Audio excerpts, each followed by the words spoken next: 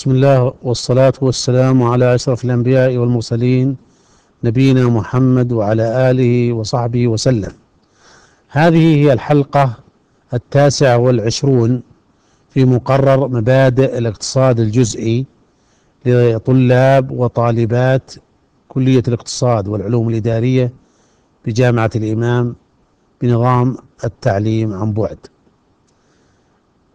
في الحلقة السابقة كنا ناقشنا سوق المنافسة الكاملة حول تعريف المنافسة الكاملة وشروط المنافسة الكاملة شروط أو خصائص نسميها بعض الأحيان خصائص سوق المنافسة الكاملة. ثم عرجنا على موضوع توازن المنافسة الكاملة. ونقصد بالتوازن نقطة التوازن هي النقطة التي تعظم فيها المنشأة أرباحها أو تدني خسائرها. مرة أخرى نقطة توازن المنشأة المقصود بها هي نقطة تعظيم أرباح المنشأة أو تدنية خسائرها. لأننا سنرى أنه في الأجل القصير قد تعمل المنشأة وهي تحقق خسائر فالمطلوب في مثل هذه الحالة هو تدنية هذه الخسائر. يعني أن تكون الخسائر أقل ما يمكن وهذا يشترط طبعا أن تكون الخسائر أقل من التكاليف الثابتة لأنها إذا زادت الخسائر ووصلت بنفس مقدار التكاليف الثابتة فأكثر فإن المنشأة والحالة هذه من الأفضل لها أن تغلق لأنها إذا أغلقت وتوقفت عن الإنتاج سوف فقط تتحمل خسائر بمقدار التكاليف الثابتة. يعني التكاليف الثابتة مرتبطة بالمنشأة بالتالي سوف تتحملها سواء أنتجت أم لم تنتج. أما إذا كانت إنتاجها سيؤدي إلى أن تحقق خسائر زيادة على التكاليف الثابتة فلا شك أن يفترض لهذه المنشأة أن تخرج من السوق حتى تقلص خسائرها. طيب شروط التوازن أو شروط تعظيم الأرباح أو شروط تدنية الخسائر هناك شروط ثلاثة. الشرط الأول نسميه الشرط الضروري وأشرنا إليه في الحلقة الماضية وهو لو ننظر للشاشة نرى كما هو مكتوب في الخط الأحمر رقم واحد اللي هو شرط توازن المنتج أو المشروع أو شرط تعظيم الأرباح أو تدنية الخسائر. الشرط الأول التكلفة الحدية تساوي الإيراد الحدي. التكلفة الحدية تساوي الإيراد الحدي. Marginal cost يساوي marginal revenue. طبعا قلنا إن الإيراد الحدي في الحلقة الماضية هو السعر وهذا خاص بالمنافسة الكاملة. الإيراد الحدي هو السعر وقلنا هذا خاص بالمنافسة الكاملة. إذا نقول الشرط الأول هو التكلفة الحدية تساوي الإيراد الحدي أو نقول نفس الشيء التكلفة الحدية تساوي السعر لأن السعر هو نفس الإيراد الحدي. وهذا الشرط طبعا كما بينا أهميته أيضا في الحلقة الماضية وقلنا أنه يعني أن تكلفة آخر وحدة تقوم بإنتاجها المنشأة تساوي الإيراد التي تحصل عليه من بيعها.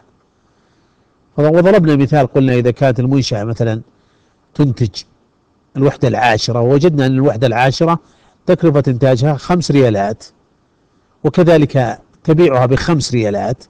نجد أن الوحدة العاشرة خلاص لم تحقق منها أرباح يعني الربح الحدي يساوي صفر. هنا نجد أن المنشأة وصلت إلى نقطة تعظيم الأرباح أو تدنية الخسائر وقلنا أنها تستطيع جمع أرباحها من الوحدات السابقة يعني من الوحدة التاسعة والثامنة والسابعة وهكذا. أما الوحدة الأخيرة فمعنى ذلك أنها مؤشر لها أن, لا تزيد عن الإنتاج. خلاص.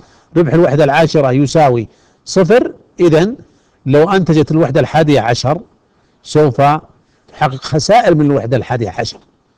سيكون تكلفة الوحدة الحادية عشر مثلا ست ريالات وإيرادها اللي هو ثمنها اللي تباع فيه خمسة. بالتالي ستخسر ريال من خلال بيع الوحدة الحادية عشر.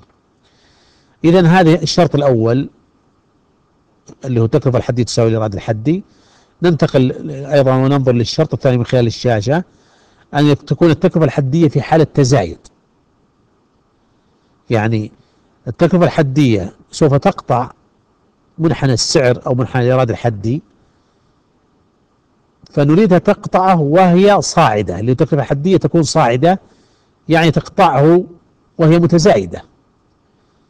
لأن في بعض الأشكال أو بعض الرسومات يمكن أن تقطع منحنى التكلفة الحدية منحنى السعر في أكثر من موضع. على الأقل في موضعين مثلا. فنجد الموضع الأول تقطعه وهي نازلة. يعني التكلفة الحدية تقطع منحنى السعر وهي منخفضة. هنا هذه النقطة غير مقبولة. ليست نقطة تعظيم أرباح ولا تدنية خسائر. ولهذا نذهب إلى النقطة الأخرى التي تقطع فيها التكلفة الحدية منحنى السعر وهي صاعدة. هذه هي النقطة التي تعظم أرباح المنشأة. إذا أهمية الشرط الثاني تبرز في أن هناك بعض النقاط التي يمكن يتحقق عندها الشرط الأول لكننا نختار نقطة واحدة من هذه النقاط التي تكون عندها التكلفة الحدية متزايدة يعني ميل التكلفة الحدية موجب. الشرط الثالث أيضا وهو أن يكون السعر أكبر أو على أقل تقدير مساوي لمتوسط التكلفة المتغيرة. طيب لو كان خذنا أن السعر يساوي متوسط التكلفة المتغيرة. إذا كان السعر يساوي متوسط التكلفة المتغيرة هذا يعني أن المنشأة سوف تتحمل خسائر مساوية للتكاليف الثابتة. وعند هذه النقطة تكون المنشأة بالخيار. إما تستمر إن استمرت في الإنتاج فسوف تتحمل خسائر تساوي التكاليف الثابتة. وإن توقفت عن الإنتاج سوف تتحمل أيضا مقدار التكاليف الثابتة ولهذا نسمي هذه النقطة نقطة الإغلاق. نقطة الإغلاق. shutdown point shutdown point هذه النقطة. فاللي آه، المنشأة يجب أن يكون السعر من نقطة الإغلاق فأعلى يعني يكون تقاطع منحنى السعر أو منحنى الإيراد الحدي من نقطة الإغلاق فأعلى. هنا يكون أمرا مقبولا. أما لو قاطع السعر منحنى السعر الذي يكون على شكل خط آه، أفقي أو خط مستقيم موازي للمحور الأفقي لو قطعه عند نقطة أغلى أقل من نقطة الإغلاق هنا المنشأة يفترض أن تخرج من السوق يفترض تتوقف. لماذا؟ لأنها لو أنتجت عند هذه النقطة سوف تتحمل خسائر التكاليف الثابتة زائد جزءا من التكاليف المتغيرة وبالتالي من الأفضل لها والمناسب أن تخرج من السوق وتتوقف. لأن لو توقفت لن تتحمل إلا فقط التكاليف الثابتة. طيب لو رحنا للرسم وأردنا أن نطبق ما ذكرناه نجد أن الرسم في الأمس أيضا مر علينا. هنا الآن في هذا الرسم نجد نلاحظ النقطة التي أشرنا إليها أن منحنى التكلفة الحدية قطع يعني نجد نقطة تقاطعه مع المحور مع السعر عند النقطة يعني النقطة اللي يكون الرقم عندها اللي هو السعر 97 و78 نقطة التوازن إذا أين هي هنا الآن في مثل هذه الحالة؟ طبعا نطبق الشرط الأول. نحن الآن أمامنا الرسم. نقول أين نقطة التوازن؟ أين نقطة تعظيم الأرباح أو تدوية الخسائر؟ نقول الشرط الأول هو أن يكون السعر مساوي للتكلفة الحدية. طيب السعر اللي هو نسميه السعر أو الإيراد الحدي هو نفس الشيء. هو الخط المستقيم الموازي للمحور الأفقي اللي هو يكون MR marginal revenue عند 131 دولار. هذا هو السعر. السعر السائد في السوق نسميه السعر أو الإيراد الحدي سيان طيب إذا نقطة تقاطع منحنى السعر مع منحنى التكلفة الحدية هذا يحدد الكمية التي تنتجها المنشأة. كم تنتج المنشأة؟ تنتج تسع وحدات. تسع وحدات هي التي ستعظم أرباح. لو قللت مثل ثمان أو زادت إلى عشر أرباحها الكلية سوف تقل. إذا يجب عليها أن تتوقف فقط تنتج تسع لا أكثر ولا أقل. طيب الشروط الأخرى هل هي متوفرة؟ نقول الشرط الأول واضح. تقاطع منحنى السعر اللي هو الخط الأفقي عند 131 دولار مع منحنى التكلفة الحدية تقاطع عند الكمية تسعة الشرط الأول متحقق. طيب الشرط الثاني؟ الشرط الثاني تزايد التكلفة الحدية. نعم. عندما قطع منحنى السعر أو منحنى الإرادة الحدي نجد التكلفة الحدية تقطعها وهي في حالة تزايد. إذا الشرط الثاني متحقق. الشرط الثالث ننظر هل السعر فعلا أكبر من متوسط التكلفة المتغيرة؟ السعر عندنا 131 131 طيب المتوسط التكلفة المتغيرة؟ متوسط التكلفة المتغيرة؟ نجد أنها آه، في الخط أو في المنحنى الأخضر عند كمية تسعة تجد أنها كم مقدارها؟ بحدود 90 تقريبا. يعني السعر أكبر بكثير من متوسط التكلفة المتغيرة إذا الشرط الثالث متحقق. طيب إذا تحققت الشروط الثلاثة قد تحقق المنشأة أرباح اقتصادية وقد لا تحقق. وقد تحقق خسائر. لكن كما قلنا الخسائر يجب أن تكون أقل من التكاليف الثابتة. طيب الرسم هذا هل يوحي أن هناك ربح؟ طبعا إذا أردنا أن ننظر للربح ننظر للسعر. هل السعر أكبر من متوسط التكلفة الكلية؟ إذا كان السعر فعلا أكبر من متوسط تكلفة السلعة يكون في ربح.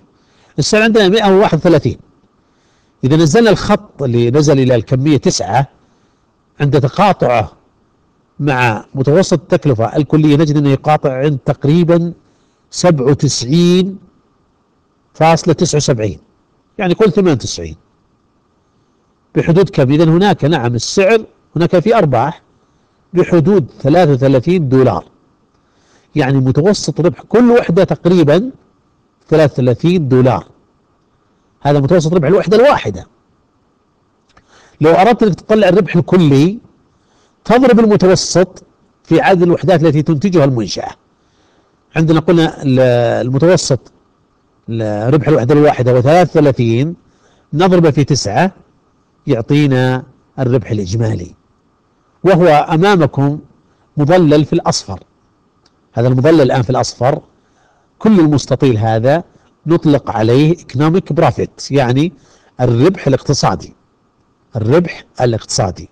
وهو هذا الربح الكلي يعني مساحة المستطيل لو أردت أنك تأخذ مساحة المستطيل تأخذها الطول في العرض.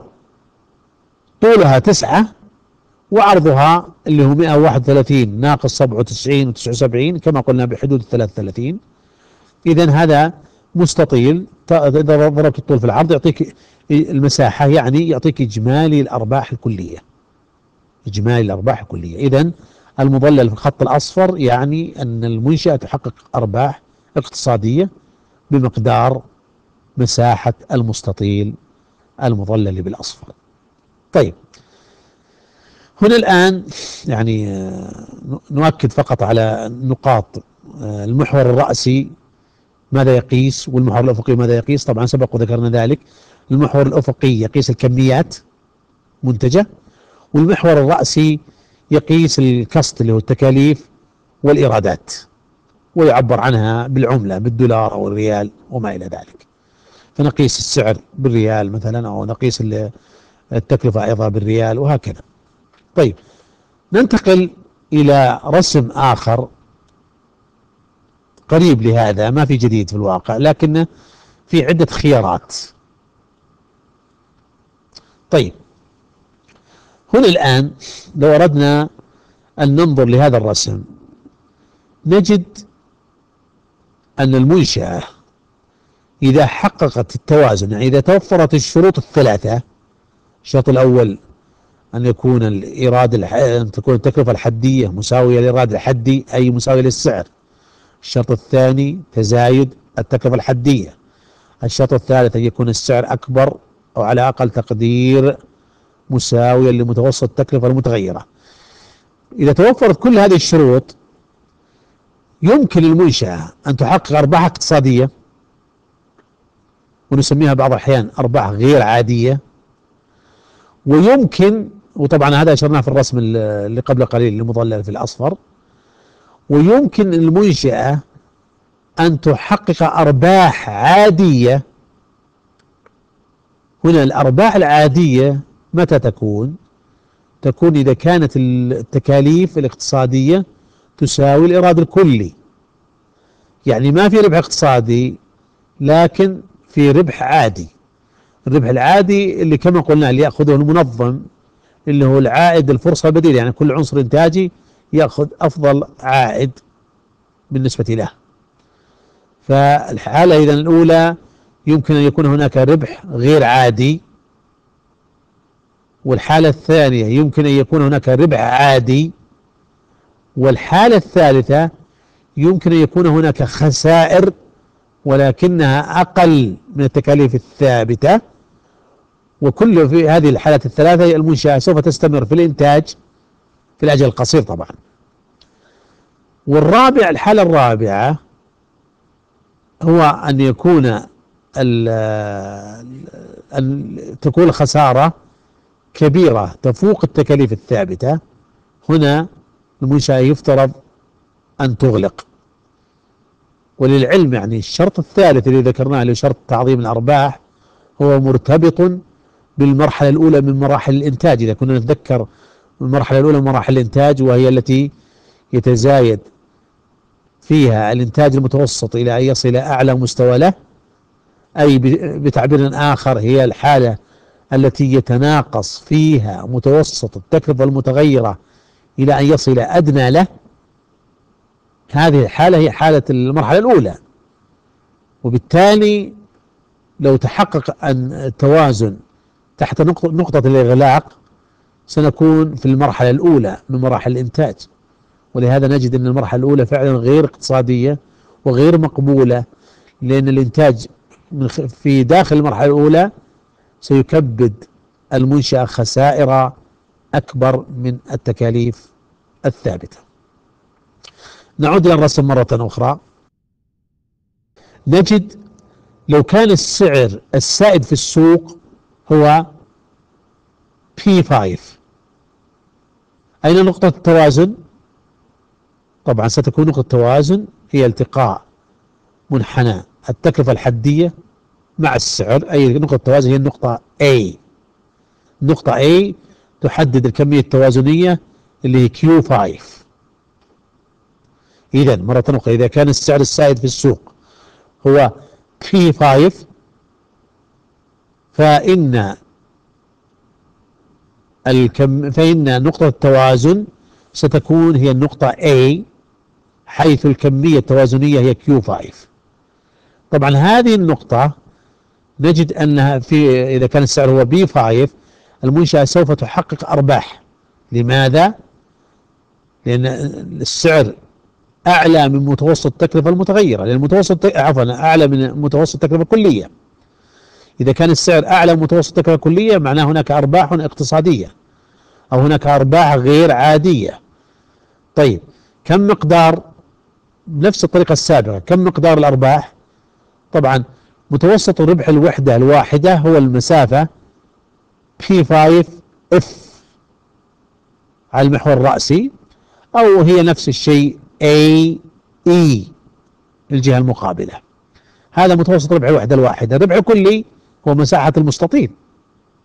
اللي هو P5 A E F. هذه مساحة المستطيل تعني مقدار الربح الكلي. طيب. الآن هذه نفس الحالة الأولى اللي ذكرناها. إذا إذا كانت نقطة التوازن هي نقطة A معنى ذلك أن المنشأة تحقق أرباح اقتصادية أي أرباح غير عادية بمعنى أنها تزيد عن ما يحصل عليه كل عنصر إنتاجي ساهم في العملية الإنتاجية. طيب لو صار السعر السائد في السوق هو P4 إذا كان السعر السائد في السوق P4 ستكون نقطة التوازن هي النقطة B.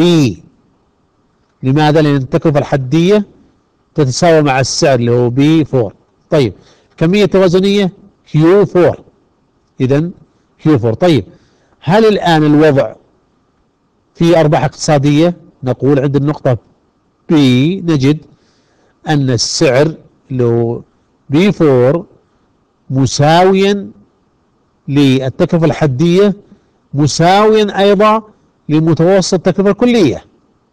إذا كان السعر مساوي لمتوسط التكلفة الكلية هذا يعني ليس هناك أرباح اقتصادية.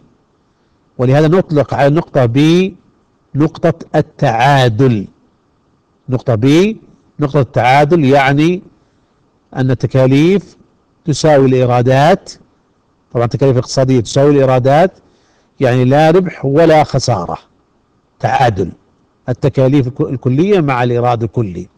النقطة B نقول إنها فعلا ليس هناك أرباح اقتصادية لكن في أرباح عادية. لماذا في أرباح عادية؟ لأن كل عنصر إنتاجي حصل على أفضل عائد بديل. فالمنظم سيحصل على عائدة اللي هو يحصل عليه في أي مكان آخر. وبالتالي نقول النقطة B هي نقطة التعادل. طيب لو كان السعر P3 لو كان السعر P3 ستكون نقطة التوازن وهي نقطة C. إذا نزلنا نقطة C نجد الكمية هي Q3 هذه برضه نقطة توازن للمنشأة. الشروط الثلاثة كلها متحققة. طيب هل هناك أرباح أو خسائر؟ طبعا لا هناك خسائر. لماذا؟ لأن متوسط التكلفة الكلية أعلى من السعر. لاحظوا السعر بي 3 متوسط التكلفة الكلية أعلى فوق. إذا هناك خسائر. هل المنشأة تستمر في الإنتاج؟ نعم. المنشأة تستمر في الإنتاج في الأجل القصير لأنها تحمل خسائر أقل من التكاليف الثابتة. طيب النقطة دي نقطة دي يكون السعر P2 وهذه النقطة ستكون الكمية التوازنية Q2 هنا الآن نجد السعر P2 يساوي التكلفة الحدية يساوي متوسط التكلفة المتغيرة. هذه النقطة دي نسميها نقطة الإغلاق. Shut down point. يعني المنشأة عند النقطة دي إذا أنتجت سوف تتحمل خسائر مساوية للتكاليف الثابتة. إذا توقفت سوف تتحمل أيضا نفس الخسائر المساوية للتكاليف الثابتة. فالمنشأة عند النقطة دي بالخيار. أعلى من النقطة دي المنشأة سوف تستمر في الإنتاج. طيب. تحت هذه النقطة دي مثلا لو أخذنا السعر بي 1 بي 1 طبعا الشروط الثلاثة متحققة عنده. نجد أن آه، إلا الشرط الثالث. الشرط الثالث غير متحقق الشرط الأول متحقق تساوي آه، السعر مع التكلفة الحدية. الشرط الثاني أيضا متحقق مع تزايد التكلفة الحدية. الشرط الثالث غير متحقق لأن السعر أقل من متوسط التكلفة المتغيرة. ولهذا هذا الجزء كما قلنا هذا مرتبط في المرحلة الأولى بمراحل الإنتاج ولهذا غير مقبول الإنتاج فيه. ولهذا المرحلة الأولى ليست اقتصادية. طيب النقاط الآن لاحظ عندنا النقطة دي وسي وبي وأي هذه تبين فعلا أن هذه النقاط التوازنية وغيرها على من النقطة دي فأعلى هذه تبين أن التكلفة الحدية يمثل منحنى عرض المنشأة. إذا ما هو منحنى عرض المنشأة؟ منحنى عرض المنشأة هو منحنى التكلفة الحدية من نقطة الإغلاق اللي هي دي فأعلى مرة أخرى منحنى عرض المنشأة هو منحنى التكلفة الحدية من نقطة الإغلاق دي فأعلى لأنه يمثل علاقة بين الكمية المعروضة والسعر التوازني طيب بعد ذلك لعلنا نختم في القول أن المنشأة. في حالة المنافسة الكاملة في الأجل الطويل نجد أن لما يكون يعني وضع توازن الأجل الطويل ما الفرق؟ يعني في الأجل القصير يمكن أنها تتحمل خسائر لكن أقل من التكاليف الثابتة. أما في الأجل الطويل فلا يمكن أن تتحمل خسائر. ماذا سيحدث في الأجل الطويل؟ الأجل الطويل إذا كانت الصناعة فيها أرباح ستكون مغرية لمنشآت أخرى بالدخول وبالتالي سيكون هناك منشآت تدخل لأجل أن تحصل على هذا الربح. وإذا كان هناك في خسائر في هذه الصناعة نجد أنه سيكون هناك خروج لبعض المنشآت. طيب متى يستقر الوضع التوازن في الأجل الطويل؟ يستقر الوضع في أو يستقر آه، في التوازن في الأجل الطويل عندما يكون السعر مساويا للتكلفة الحدية مساويا لمتوسط التكلفة الكلية. يعني لا ربح ولا خسارة نقطة التعادل. وكما قلنا نقطة التعادل يعني حدوث وجود الربح العادي. فبالتالي إذا نقطة توازن الأجل الطويل هو أن يكون السعر مساويا للتكلفة الحدية مساويا لمتوسط التكلفة الكلية أي ليس هناك ربح اقتصادي. الربح الاقتصادي يساوي صفر. هذا وصلى الله وسلم على نبينا محمد.